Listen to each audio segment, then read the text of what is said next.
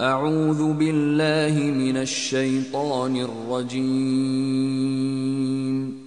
Bismillahirrahmanirrahim. Ehli kitaptan bir kısmı da aslında kitaptan olmadığı halde sizin kitaptan zannetmeniz için okurken ağızlarını, dillerini eğip bükerler.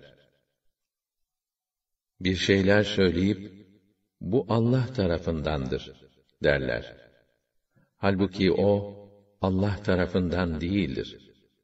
Bile bile Allah adına yalan uydururlar. Biz Nasraniyiz, Hristiyanız diyenlerden de kesin söz aldık. Fakat onlar da kendilerine tebliğ olunan derslerden birçoğunu unuttular.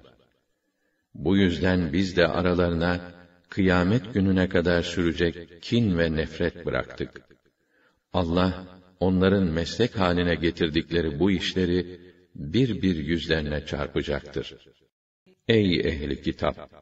Kitaptan, Tevrat'tan gizlediklerinizin çoğunu size beyan eden, birçoğunu da yüzünüze vurmayarak affeden Resulümüz size gelmiş bulunuyor. İşte size Allah tarafından bir nur ve hakikatleri açıklayan bir kitap geldi. Yahudiler, Allah'ın eli bağlıdır dediler. Hay kendi elleri bağlanasılar. Hay dediklerinden dolayı melun olası adamlar.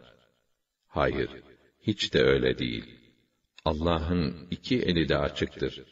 Dilediği şekilde infak eder. Rabbinden sana indirilen ayetler, mutlaka onlardan birçoğunun azgınlığını ve gavurluğunu arttıracaktır. Bununla beraber, biz onların aralarına, kıyamete kadar sürüp gidecek bir kin ve nefret bıraktık. Her ne zaman onlar savaş çıkarmak için bir yangın tutuşturdularsa, Allah onu söndürdü. Sırf fesat çıkarmak için dünyanın her tarafında koşup dururlar. Allah müfsitleri sevmez. Eğer ehli kitap iman etse ve fesatçılıktan ve diğer fenalıklardan sakınsalardı, elbette biz onların kötülüklerini örter ve onları naim cennetlerine yerleştirirdik. De ki, ey ehli kitap! Siz Tevrat'ı, İncil'i ve Rabbinizden size indirilen Kur'an'ı tatbik etmedikçe, hiçbir temele dayanmış sayılmazsınız. Hiçbir dayanağınız yoktur. Rabbinden sana indirilen ayetler, mutlaka onlardan birçoğunun azgınlık ve inkarcılığını fazlalaştıracaktır. O halde o kâfirlerden ötürü gam yeme.